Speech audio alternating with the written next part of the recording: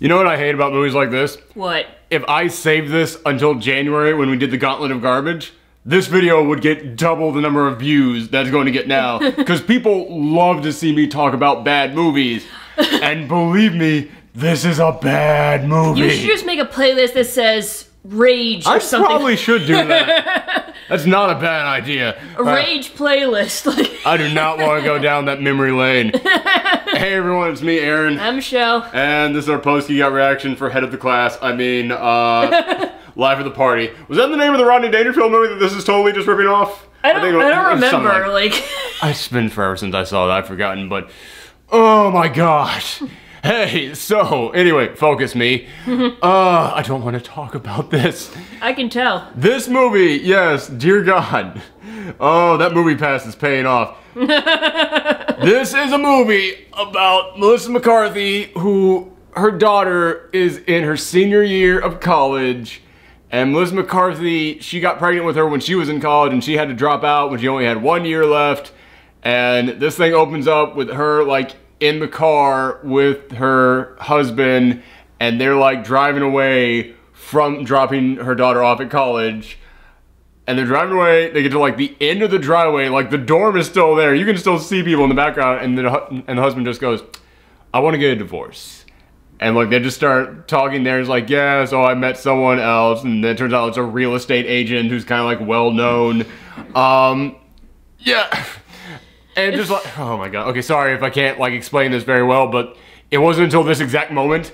As I told you this plot, that I realized, oh my god, I'm going to sum up this entire story in two minutes.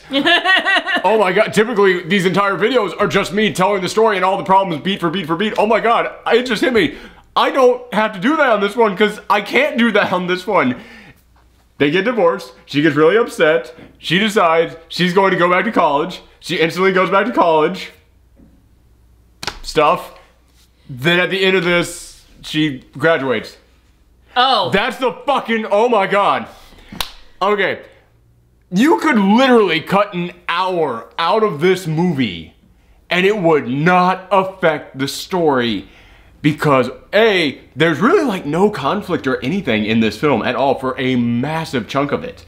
Like it isn't until like act 3 when all of a sudden uh it's it comes into play that her ex-husband is still paying for her to go to college but after she gets high because she ate some pot chocolate, she goes because that's a thing that, that you do in comedies like this. Mm-hmm. after she gets high, after eating some pot chocolate, she goes to her ex-husband's wedding, which they skip over the divorce quick. There's one scene of them talking about the divorce with a lawyer, and then that's apparently it. You get no sense of time in this thing because apparently she goes through an entire semester at school very easily and it's never really brought up like any of the concerns that would come along with that. This is the most magical college I have ever seen in a movie. Literally, the way that she gets into this college is after she decides she's going to do it, it then cuts to her like in someone's office. He goes, "Okay, here's your itinerary." Wow, I can't believe it! Yeah, it was like, "Good luck out there." It was like, I don't remember college being like that. Is this movie set in Canada where they have free tuition? Like, is this where? Oh my god. By the way, I don't even know if that's true in Canada. I know that a lot of European countries do have it, but it's like, yeah, isn't that a thing in Canada where some sections of Canada, like college, I don't know, whatever. Canada's better than us, everybody. so, uh, so yeah, it just starts off with that. It's like, that's all it took to go to college? And apparently she only has one class. Like, she needed a whole other year in order to graduate. Which is the other thing. She's dropping her daughter off at the beginning of senior year. Not like senior semester, senior year. So this goes from August to spring. And it feels like three weeks. Like, does Max. She, does she go to the same college as her daughter? Yes. Oh, so do they have same classes together? No, because Oh. she only has one class apparently. She might have a class with her. We only ever see her in one class. And when she goes to the class, she recognizes the teacher as someone who she used to study with back when she went to this school. Back when was her when she was uh, in school here. Uh, she was like, "Oh, I know that guy. I know him." And you kind of get the sense that like maybe they're going to have like a romantic thing. It's like, "Oh yeah, like her husband treated her like crap, didn't believe in any of the things that she wanted to do." But this guy, they used to have like friendship. Okay, maybe they'll come back in they forget she has class at college for so long in this movie when she eventually finally goes back to that class and he pops up again. I was like, oh yeah, I thought you were gonna be part of this story. Guess not. Uh, she does have some kind of a romantic interest in here though, because she starts uh, like just having a fling with this hunky, good-looking guy from a fraternity. And like they just start hooking up and just start like banging nonstop. Like that's all they do. They just have sex constantly. And the after the first time that she has sex, he comes up to her like the next day and is like, "Hey, so did you get any of my texts?" And he goes, "Oh, I put it on silent." I was like, "Oh, yeah, I understand. Okay." And then he, she looks at it, like, "Wow, that's a lot of text." And she just scrolls, and you see just a wall of text in there, and like, "I miss you so much." And it didn't really hit me until I'm saying this right now. She said that she didn't see his text, and it just hit me. There were replies in the text string she was going through. Oh. What's the deal, movie? Wow. Okay, I didn't. I was so fucking like out of it in this film and just didn't care. I did not even catch that. But there's many things like that in this film. Oh, like there no. is like she makes a Harry Potter joke and then later on someone references Dumbledore and she goes, "I don't know who that is." And I was like, "But you made a Harry Potter joke earlier in the doesn't it feel like a quick sweep of the script will like someone will spot that. Or there's another line in here in which a girl uh, gets told, "Oh, there's cake upstairs," and she goes running, "Ooh, cake!" And then she goes, "She's she's allergic." Honey, you're allergic. No. And then later on, when she's wrecking her husband's wedding, uh, that same girl is walking out there at the end and goes, "You had a really nice cake, by the way." I was like, "Weren't you allergic?" Wasn't that like an actual thing that you had earlier in the film? Like, there's so many things like that in this movie. Um, I'm just imagining like Jumanji where he explodes from the cake. Yes! I thought the same thing! God damn it. Now that would have been funny. Something in this movie had to be funny. Uh, I will get to the jokes in just a second. But yeah, she starts hooking up with this guy, and like I said, first thing that happens is the day after, walls and walls of and it's like I was trying to scan what he was saying, and there's some moments in there in which you I can make out things like I'm missing you, where are you? Like very stalker level shit. Yeah. And she's like, "Oh, yeah, listen, this just it isn't healthy, and we need to make better choices here." And then they immediately go and bang, mm. and then they just keep banging all throughout this.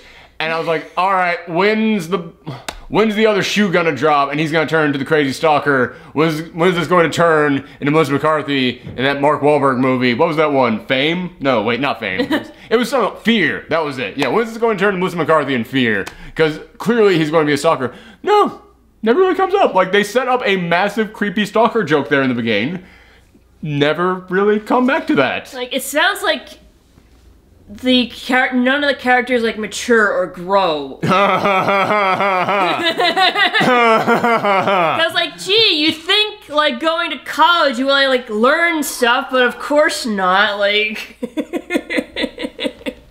you would learn to become a better person, but of course not. Hold on, I need, to, I need to actually think about this because I think you just hit the nail on the head. I'm going, no, he, that person didn't. They didn't. They didn't. They didn't. It's like, okay, did the daughter learn to respect the mom? And it's like, okay, well, I didn't want you at school with me, mom, but you know what? I learned that you're pretty cool. The daughter, yeah, she doesn't want the mom there, but she's like, okay, mom, it's, uh, eh, they don't, they don't need to hear all this, mom. You, you can, you can go now, mom. But it's like, but then that night she'll be like, hey, we're going out party. Want to come with us, mom? It's like, she is very okay with the mom being in the school. Just every now and then she's like, okay, mom, not, not, not now, mom. It's okay. It's okay. Uh, but that's the most you get out of her. The rest of the time, she is full on like, yeah, hey, my mom, everybody, yeah. So she doesn't change at all during this. Melissa McCarthy's lesson is like the lesson she has is that at the beginning of this movie, she needs to learn to stand up for herself. She learns that as soon as she decides to go to college. There's no more progression on her character after that point. Wow! it really did just hit me. No one progresses after the 15 minute mark in this movie. Which, by the way, that's something I gotta point out. This thing is like an hour and 40 minutes long. As I said, you can remove an hour from this movie. And one of the reasons why is because every scene drags so long. And I remember when it got to the point when she was finally at the school, and finally there, and with her daughter, and in the dorm, and all these things. I went, all right, this this isn't this isn't good, but it's, it's not as bad as some of the reviews I heard. It's it'll pass by. It'll be over with in no time. I mean, she's at the school right now. It's got to be what like that's the end of Act One. Typical Act One, 30 minutes. We're clearly 30 minutes in this thing. 15 minutes. Like I I checked my phone so many times Wow. in this movie. I was constantly checking it, going, "Oh God, only ten minutes have passed since the last time I checked it." This thing just goes on and on, and the reason why is because there's no fucking script to this thing. Hmm. There's notes for what people should say in a scene, but so much of every single scene is just Melissa McCarthy continuously talking, and that's supposed to be funny. And it's not like there are even jokes involved in there at all. Like so much like when she gets to when she gets to her class or one class that she takes her, one class. her archaeology class because that's what she wanted her major in. When she goes in there, it starts off with her talking to a bunch of the other girls in her daughter's sorority and like who wants to be in archaeology? Like you? No no. I think i thought i heard someone say they want to be in archaeology. Is it, is it you you honey over there? No no not me. Okay well what, what about you? Like this is literally like how every single scene goes. Oh wow. like, I mean, I realized this after she got the bad news from her husband that they were getting the divorce, and she goes to her parents, and literally a scene is just, honey, why don't I make you something? I don't want anything, mom. Okay, well, you know, I never really trust that, Ted. You know what? I'm gonna make you a ham sandwich. Honey, mom, I don't want a ham sandwich. What do you mean you don't want a ham sandwich? Everybody likes ham sandwiches. Dad, you're yelling about ham. I am not yelling about ham. Honey, yes, you are yelling about ham. Fine, I'm yelling about ham. I'm up on the roof talking about ham. I shortened that to half the time it takes up in this film. Every goddamn scene is that. wow. Every scene is just on and on and on. Like when she gets to the class where she's her archaeology class, the scene is, oh hey, I'm gonna sit next to you. Oh, oh, oh sorry, excuse me. You know, there's always that one person. God, I gotta be the person that sits in the middle. Sorry about that, everybody. It's like, oh honey, honey, I noticed you dropped your bag there. It fell between the chairs. Here, let me help you that. Oh, you dropped your pencil out there. Here, look. Oh, you know what? That tip, that tip won't do. Here, I got a whole bag of mechanical pencils. That way the lead, the lead just keeps on coming, honey. Just take it out.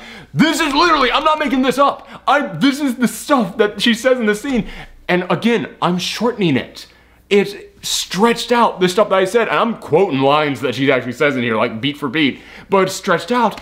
That is every scene. It's like there is no point to any of the things you're saying right now. The only point they would serve would be to be a joke. And I don't know how, honey, you drop your bag between the chairs. Oh, that pencil, no good. Oh, here, take a mechanical pencil.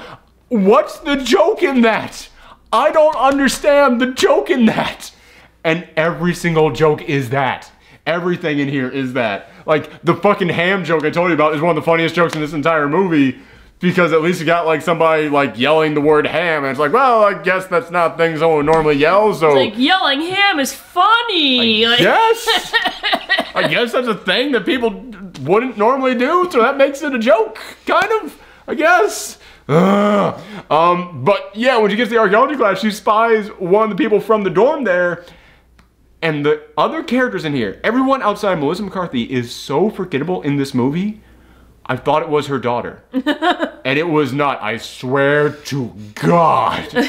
it was not until 45 minutes after that scene two other whole scenes in that in that classroom had gone by before I went that's not her daughter that's Gillian Jacobs from Community an actress I actually know like it's one thing to like not be able to recognize the different characters in this movie from each other but when you actually know one of them and you're a fan of things that they've done, that's a whole other level of who gives a crap about these characters.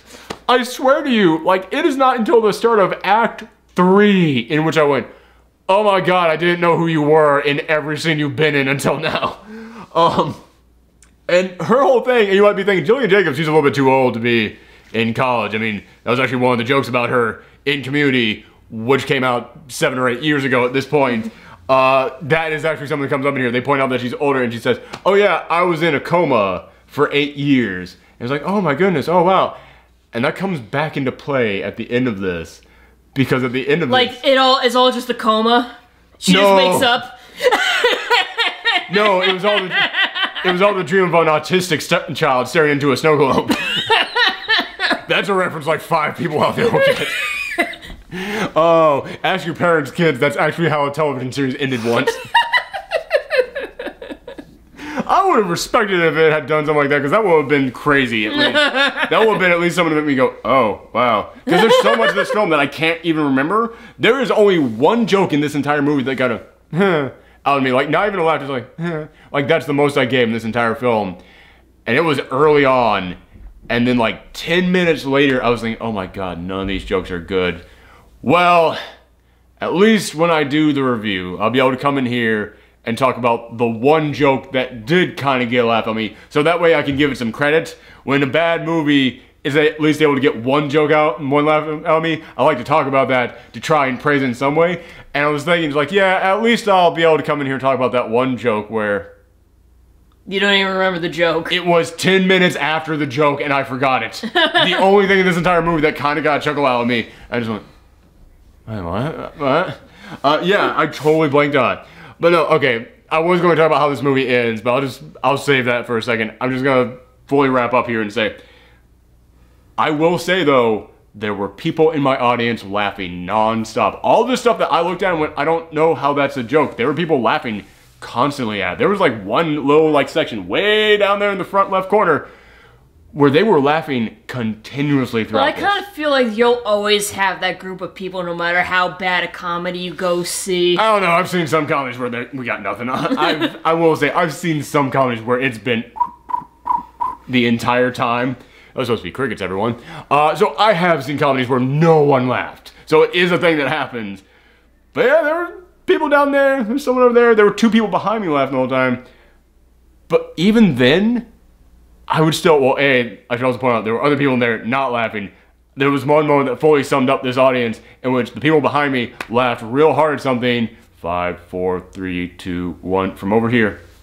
It's like literally, it was that that much of a gap between ha ha ha ha. It was like, wow, yep, that's the audience for this right now. Um, but I will say, even the audience who was laughing at this, there's the all is lost moment when uh, she gets told, hey, your ex-husband is no longer paying for your college, which is really the first time that, that it gets brought up like once before that. But I mean, like, yeah, this movie goes an hour before they actually explain how the hell she is actually affording college, even though they constantly bring up how much college cost.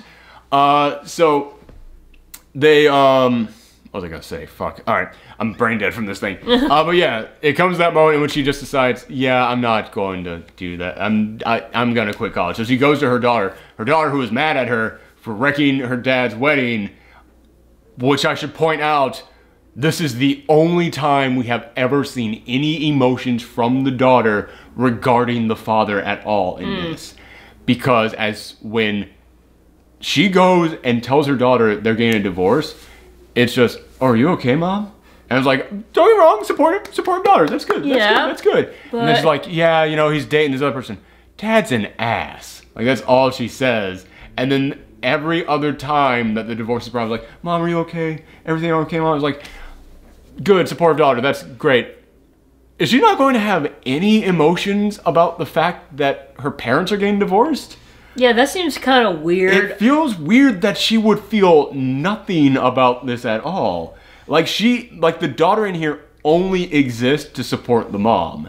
And it's very odd, like she has zero character when this big life-changing event happens to her and we never see it impact her at all. She's too busy studying at college. no, because we don't know what she- we don't even know. we don't know what she's doing there. No, college with them. exactly. That's the Uh, joke. but yeah, um, so yeah, so she has no personality at all in this. But after that, after she wrecks the, like, she has so little connection to the dad. At when she wrecks the wedding, when she wrecks like the wedding, and the daughter's there's like, Mom, what are you doing? I was like, Oh fuck, I forgot that you were Harriet's daughter. I forgot you were related to that guy. Like that is how little connection she has. And after this, Melissa McCarthy goes to her and she says, Yeah, and she's like, I'm so sorry about that. It's like, Yeah, well, you ruined dad's wedding, mom. And then she goes, Yeah, you know what? I'm just going to quit college.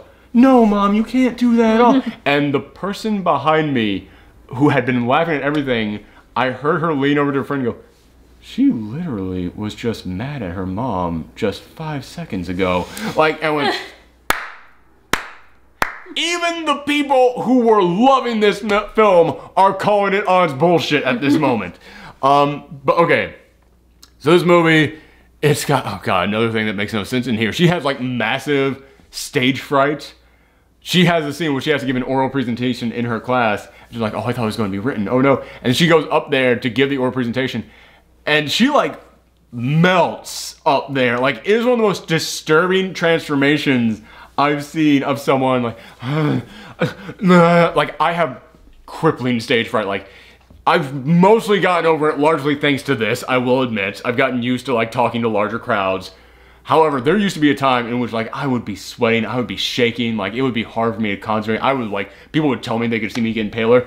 This is so exaggerated, even I have to call bullshit on it. like, because you are seeing, like, every time it cuts to her, she's swaying more. Like, the stains on her are getting bigger. Like, stains on her back are getting bigger. She goes up to someone's like, I, can I just get some, can I just get some water? She goes up to someone in the front row, and it's like, the guy doesn't want to give her the water. He's like, don't be a dick, give me the water. And she's like fighting the guy. She chugs the entire thing down, and he goes, oh, oh, God, that's not sitting well. And it's like, this is the most, and again, like every single joke in here, it goes on forever. I'm like, this is one of the most uncomfortable scenes I've seen in a comedy in years with how long it's holding on this. But a couple minutes before this in the movie, she had a giant dance battle in front of all these other people.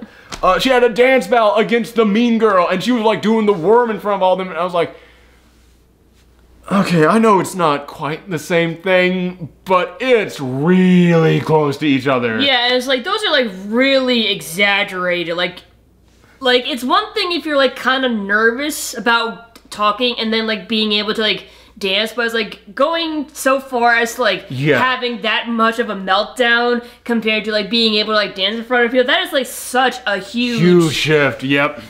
Uh, exactly what I was thinking. And it's like, both of them are so cartoonish on both spectrums that's like, I can't even buy you as a human being mm. anymore, in all honesty. Like, I've never seen anyone, like, I've seen people pass out from stage fright before. Like, I've seen clips of people doing that. Even they held it together way better than she was holding it together here. I was like, man, yeah, I, just- I get that this is a silly comedy, but you've exaggerated to the point in which I can't believe you're human. Like, that is too freaking much. But, and as I mentioned, she had a dance battle. There's the mean girl at this school. Of course. Of course, and man, I don't know. Maybe it's different for everybody out there. Maybe it's probably especially different for girls out there because I know that you deal with stuff that you know men never even can comprehend and men don't have to go through. But man, I remember what it was like in college. A lot of the bullshit from high school kind of got left behind. Yeah, exactly. And if It's it was like, freshman year, yeah, in my freshman year in college, there were still like people with those chips on their shoulders. There were still people kind of being assholes to each other. But they're all seniors in this film. By that point, seniors, like, listen, if you don't want to deal with someone, you're just like, yeah, that's nice. And then you just stop talking to them. Mm-hmm. No one is the bitchy asshole as a senior in college. It, like, I had almost every class I had in college, there was a mom in there. There was a parent in there. There was someone going back to get their degree. No one ever gave them shit. It's, again, I'm sure it happens to some people out there. I'm sure it's different at different schools. I'm sure it's different, especially for women compared to like men. But yeah, man, I just never saw that shit. Uh, so it was so much like you're writing this college like a high school. Yeah, it's like like even when I went to college, like no one really gave me shit. So it's like Yeah. Uh, okay, but this thing ends with she now has to raise twelve thousand dollars to be able to pay for the rest of her tuition. So they decide to hold a big party and charge everybody twenty bucks to get in. And no one shows up, and they just go, "Yeah, they're probably all at the Christina Aguilera concert." And they go, "Okay, I have an idea." And Coma Girl tweets out, "Christina Aguilera will be at this party after her after her concert." and then the place is packed. And everyone's like, yeah, I love Christina. When's Christina getting here? Christina, she's the voice of a generation. These are all literally lines that people are saying here. I was like, I'm a 30 year old grown ass man. Yeah, like, even I know no college student gives a shit about Christina Aguilera. like if this took place in like the '90s when she was like at the height of her popularity, I that would make give- way more sense. I like, will give you even all the way up to like 2008. I will give you that far. This is a fucking decade past when this joke would actually work.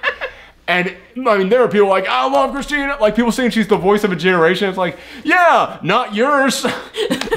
Man, that is, and you know instantly. Okay, this ends with Christina Aguilera showing up because she's way too specific of a name mm-hmm. to go for, and there's way too much praise being thrown around for her. you know this thing ends with them getting Christina Aguilera into this movie. And they are, and then they're starting to get worried. It's like, oh my goodness, okay, what happens if they don't show up? Okay, oh, we're gonna have to tell them the truth about this. And they bring up, like, how did you get that many people here with just a tweet? And then she goes, I'm Coma Girl. I have 3 million subscribers. I'm a medical marvel. And I was like, name me one goddamn person on this planet who followed someone just because they were in a coma. Name me a, any medical marvel. I'll give you anything like that. And also, medical marvel because you were in a coma for eight years. Medical marvel is this is the only time this has happened. People wake up from comas. It's happened. It's there's several people out there who have woken up from long ass comas. I read about it in the news and then I go on with my life. I don't follow them on Twitter. Who the fuck follows someone all because they were in a coma? And if you have 3 million goddamn subscribers and you are on a college campus, wouldn't you eventually have people going up to you like, oh my god, are you this person? And there is one scene at the frat party where someone goes up and goes, hey, I'm sorry, are you Coma Girl? It's like, yeah, I don't, I don't talk to fans. It's like, oh, I'm not a fan. I mean, I follow you on Twitter. So they do set it up. I'll give them that. But three million subscribers? Dear God, I don't even have 2,000 subscribers. I have like 25,000 YouTube subscribers. I get one person per party that I go to that goes into like, hey, you Professor Thorgi? Hey, man, I like your stuff. Cool. And like, that's it. It's like, she's getting treated on this college campus the way I get treated on college campuses. and it's like, you shouldn't you be getting like 20 times that much amount? Like even like, shouldn't you be getting like a hundred times this amount of attention in here if you're that popular? Yeah, like seriously, like there are like YouTubers who like have to like like wear disguises and stuff, or like tr- or like move to different areas. Doesn't like fucking Markiplier have three million subscribers? Yeah, exactly. I mean, Drop that like- motherfucker in the middle of a college campus and see if he makes it from one end to the other without people mobbing him. Jesus Christ! Seriously, you guys have like no concept so- of like what what popularity is the online. like- fucking Game Grumps don't even have three million subscribers. And they would be just mobbed walking down Mm-hmm. the street. It's insane to think that that is part of this plot. And then at the end of this, it turns out that Melissa McCarthy's goth roommate, dorm mate, who like that's a joke. Like the teacher of her class, it's a joke that they go to whenever they feel like going to it. Like it's just like, oh yeah, fuck, I forgot you were in this movie. Fine, whatever. Uh, at the end of it, she just shows up and goes, "Hey, so because you're my best friend, I saw your tweet and I decided to help you out. Uh, this is my cousin, Christina Aguilera. Hey everyone, I heard about everything that you're doing and you're trying to us at the school, and it's really good to see girls come together and supporting each other. Let's all get on stage and sing." And they all go to a big musical number, and that's how the movie ends. Of course, it ends with a giant musical number. it's fucking like all that shit that you hear about like Despicable Me and all those Illumination movies where they always end with the musical numbers. At least some of them will set up a fucking musical number is coming. At least some of them will mention like At least they're cartoons, so they like have an So excuse for like a musical. if you break fucking physics, it's a cartoon. We're willing to buy it. This thing, god damn, man.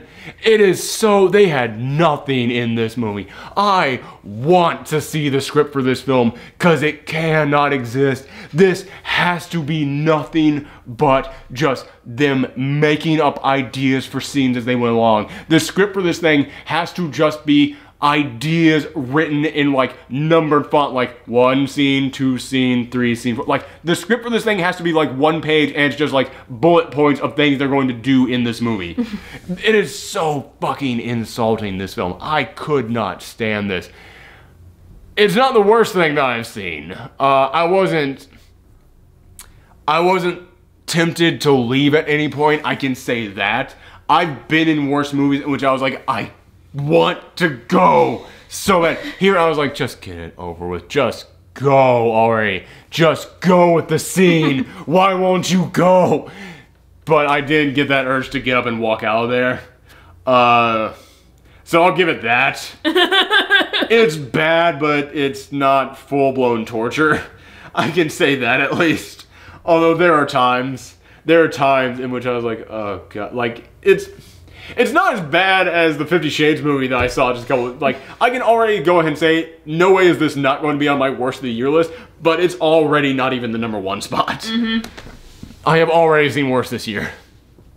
Although, by the way, I saw a trailer at the front of this movie. Apparently, it comes out like next week. I didn't even know about this film. It's called Book Club.